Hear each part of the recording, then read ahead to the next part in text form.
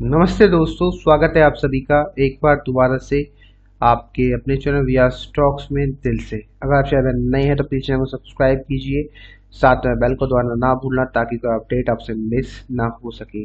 साथ में दोस्तों, आप हमें टेलीग्राम ट्विटर इंस्टा फॉलो कर सकते हो।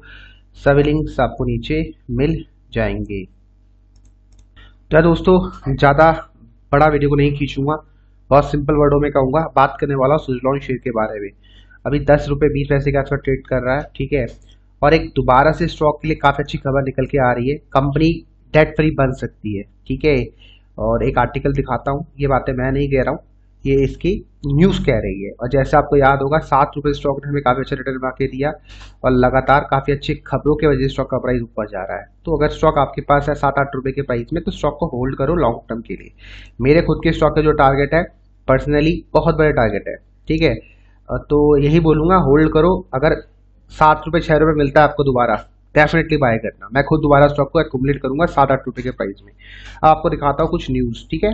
न्यूज़ नंबर वन क्या है? जैसा आपको पता है कंपनी के नंबर्स काफ़ी अच्छे आ रहे हैं और काफ़ी अच्छी रिटर्न स्टॉक ने कमा के दिए शेयर होल्डर को लास्ट छः महीने के अंदर। तो दोस्तों, काफ़ी बड़ी खबर स्टॉक के लिए निकल के आ रही है। जब से कंपनी प्रॉफिटेबल हुई है, काफ़ी अच्छी खबर स्टॉक में लगातार आने में लगी है। तो खबर नंबर दो, जो स्टॉक के फेवर में निकल के आती है, जो इनके लैंडर्स है, उन्होंने एग्री कर लिया है एक पास से। उन्होंने एग्री ये किया है कि हमारा जो फोर्टी वन हंड्रेड करोड़ का डेट है ना, आप उन, उसके बदले हमें कुछ इक्विटी दे दो। मतलब आप हमें इक्विटी दे दो। तो दोस्तों, सोच सकते हो कि कितनी बड़ी ये बात है कि कंपनी का फोर्टी वन हंड्रेड करोड़ का डेट अब आप ऑलमोस्ट बोल सकते हो कि माफ़ हो जाएगा। और उनके बदले उनको इक्विटी दे दी जाएगी। और साथ में आर ई सी ने जो रैक है, इन्होंने कमेंट किया है स्टेटमेंट पास करी और उन्होंने ये बोला है कि हम आपको एक नया लोन देंगे, जिससे आप अपना जो पुराना लोन है उसको रीफाइनेंस कर पाओगे। तो भाई काफ़ी बड़ी खबरें स्टॉक के लगातार आने में लगी है। जैसे आपको बहुत पहले बताया था कि स्टॉक में न्यूज़ वाला पैटर्न बन रहा है। ठीक है न्यूज़ वाला पैटर्न क्या है?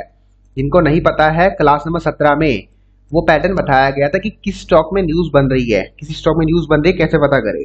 तो वो पैटर्न ये स्टॉक में बना था और काफ़ी अच्छा वो पैटर्न था और आप देख सकते हो स्टॉक का सात रुपए से आज दस रुपए भी हो चुका है। मैंने स्टॉक में प्रॉफिट बुकिंग ऑलरेडी कर लिया है। दोबारा अगर मौका मिलता है आठ नौ रुपए के आसपास तो मैं डेफिनेटली बाय करना पसंद करूँगा, लेकिन अभी मार्केट के सेंटिमेंट अच्छे नहीं है, उसके बावजूद स्टॉक का प्राइस ऊपर जा रहा है। ठीक है, लेकिन फिर भी कोई बात नहीं है। अगर स्टॉक नीचे आता है इन केस आना चाहिए वैसे, ठीक है? अगर मार्केट के सेंटीमेंट और डाउन रहते हैं तो ये स्टॉक भी आपको छह, साढ़े छह रुपये मिल जाएगा, कोई बड़ी बात नहीं है। अगर मिल जाता है तो वहाँ डेफिनेटली इसको एकोमोडेट करना। मैं खुद स्टॉक को वहाँ बाय करना पसंद करूँगा। तो आपको दिखाता हूँ, ये फुल आर्टिकल तो आप देख सकते हो एरा ठीक है? तो यहाँ पर जो इनके प्रमोटर्स है, तुलसी जी, उनकी जो प्रमोटर्स होल्डिंग है, वो सोलह परसेंट से डाइल्यूट हो जाएगी, बारह परसेंट के आसपास, ठीक है? और साथ में आरसी जो पावर सेक्टर का है, उनका जो लैंडर है, उसने बोला है कि आपको 4.3 percent giving a fresh loan to Suzlon debt would use by the firm to refinance older loans तो आप देख सकते हो, जैसे मैंने आपको बताया, वही आपको ये बताया जा रहा है। ठीक है तो आर्टिकल को आप पॉज करके पढ़ सकते हो।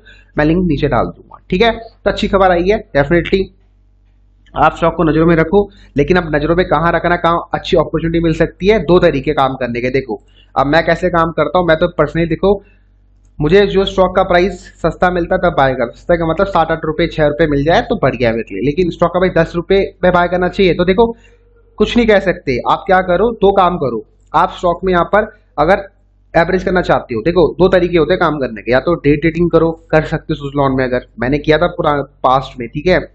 और डे ट्रेडिंग का मतलब जो सीएनसी में आप काम करते हो नॉर्मल डिलीवरी एमआईएस नहीं बोल रहा हूँ मैं ठीक है? तो एक काम ये होता है। दूसरा का, काम है स्टॉक में आप एवरेजिंग का सारा लोगे। ठीक है, आपको अंदर से पता होना चाहिए स्टॉक ऊपर जा सकता है। पता है, उसके बाद फिर एवरेजिंग करो। दस रुपए में एवरेजिंग अपने अगर बाय कर लिया है तो सात रुपए में फिर एवरेजिंग करो, फिर छह रुपए में करो, फिर एक स्टॉप लॉस होता है, वहाँ तक एवरेजिंग करो। और अगर आपका स्टॉप लॉस हिट हो गया तो स्टॉक से एक्स स्क्वायर ऑफ़ कर लो, आपको छोटा छोटा लॉस होगा, कोई दिक्कत नहीं है।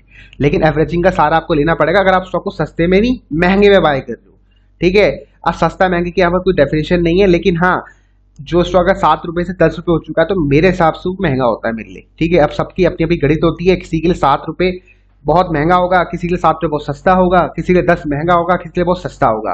अब मुझे नहीं पता आप इसको कैसे देख रहे हो। ठीक है, सबका देखने का तरीका होता है। तो मेरा तरीका क्या है कि सात वाली चीज़ दस होगी तो मैं बाय नहीं करूँगा। ठीक है, सात में बाय करूँगा, दस दस में नहीं करूँगा। दस में उसको कट करूँगा, बेचूँगा। बाकी सबकी अपना अपना थिंकिंग है देखने का। अब यहाँ आप देख सकते हो लोग लगातार तब भी यहाँ स्टॉक में लगातार क्वांटिटी उठाई जा रही है। ठीक है? और ये जो क्वांटिटी है, ध्यान रखना, जो तरीका मैंने आपको बताया एवरेजिंग का, सब बड़े प्लेयर एवरेजिंग का सहारा लेते हैं। ठीक है? वो स्टॉक को कभी भी बढ़ते हुए क्रम में, जब स्टॉक का प्राइस ऊपर भागता, तब बाय नहीं करते। वो उसको बाय तब करते जब गिरता नीचे। तो जब स्टॉक नीचे गिरेगा तो हिम्मत रखना बाय करने की। ठीक है? बढ़ते में तो हर कोई स्टॉक को बाय कर लेता है। जब गिरेगा ना, असली किंग वही है जो जो स्टॉक को नीचे गिरते हुए बाय करेगा। तो अगर आपको किंग बनना है तो स्टॉक जब नीचे गिरे तब बाय करना। ठीक है? दो करोड़ बासठ लाख इंटर डे में स्टॉक में आज डिलीवरी उठाई गई है। मतलब लास्ट डे वाले दिन। बाकी चार्ट पैटर्न आपको दिखाया था सुजलॉन का कैसा दिख रहा है, एक बार देख लो। ठीक है? तो देखो सुजलॉन में देखो, दोबारा अच्छी खासी हरी कैंडल बनने लगी है। और अभी जो स्टॉक ने देखो, यहाँ पर अभी ये ब्रेक ब्रेकआउट नहीं दिया है। ठीक है? तो ये स्टॉक का रजिस्ट्रेशन एरिया है। मैक्स अभी स्टॉक जा सकता है आपका यहाँ तक। ठीक है, दस ग्यारह रुपए तक जा सकता है। चाहो तो वहाँ पर एक बार प्रॉफिट बुकिंग कर लेना। ठीक है, ये इसका रजिस्ट्रेशन एरिया है। ठीक है, इसके बाद ये इसको टेस्ट करेगा, थोड़ा टाइम बिताएगा, नीचे आएगा। तब आप स्टॉक को दोबारा नौ रुपए के आसपास अगर मिलता है तो वहाँ बाय कर सकते हो। स्टॉक का सपोर्ट एरिया था, देखो ये रहा। और इसने वहीं एक सपोर्ट ले लिया है। अब दूसरा सपोर्ट दोबारा लेने ही आ सकता है। तो स्टॉक अगर नौ रुपये आपको मिलता है दोबारा तो डेफिनेट एक्यूमुलेट करना। और हाँ सात रुपये मिल जाए, सात रुपये नब्बे पैसे तो भाई भूलना मत, पकड़ लेना। सात नब्बे मिल जाए तो पकड़ लेना, आँखें बंद करके। सात नब्बे पे तो मैं खुद बाई करूँगा। सात नब्बे का मतलब होता है आठ रुपये अगर आठ रुपये मिल जाए तो पकड़ लेना बस। ठीक है? वीडियो को समाप्त करते हैं, आगे मिलते हैं आपको अपने नेक्स्ट वीडियो तब तक लिए बाय बाय टेक केयर और अच्छा स्टॉक है डेफिनेटली कुछ बड़ा हो सकता है फ्यूचर में। ठीक है? और हाँ टारगेट मैंने आपको बताया नहीं स्टॉक के टारगेट क्या है मेरे। टारगेट बता देता हूँ आपको एक बार। आप देख सकते हो हमारा जो पहला टारगेट था चौदह रुपए का ऑलमोस्ट यहाँ से फ़र्स्ट जो था, रजिस्ट्रेशन बना लिया है। ठीक है? देखो, बारह रुपए का रजिस्ट्रेशन था। चौदह रुपए के आसपास ने रजिस्ट्रेशन लिया है मतलब तेरह रुपए के आसपास नीचे गिरा है। मतलब बोल सकते हो कि ये फ़र्स्ट रजिस्ट्रेशन ने बनाया है। उसने एक अच्छा खासा यहाँ पर देखो यू पैटर्न बनाया है। ठीक है, इसको यू पैटर्न बोला जाता है और ये एक बार कंप्लीट होने के बाद दोबारा स्टॉक ऊपर जा सकता है। ठीक है, अगर इसने ब्रेकआउट कर दिया चौदह के ऊपर, ये तेरह रुपए के ऊपर, ये स्टॉक में बड़ी तेज़ी आएगी, जो स्टॉक को बहुत बड़े टारगेट दिखा सकता है। एनएससी का टारगेट एनएससी का चार्ट देख लेते हैं।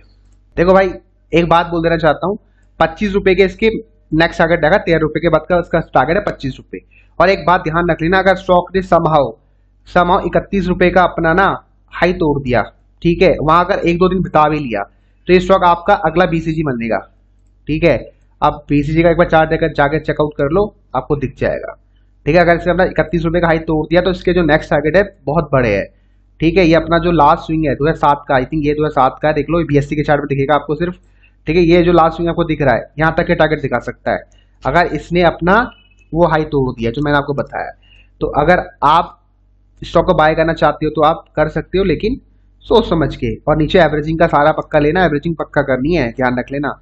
चलो, मिलते हैं आपको अपने नेक्स्ट वीडियो तक bye bye take care good night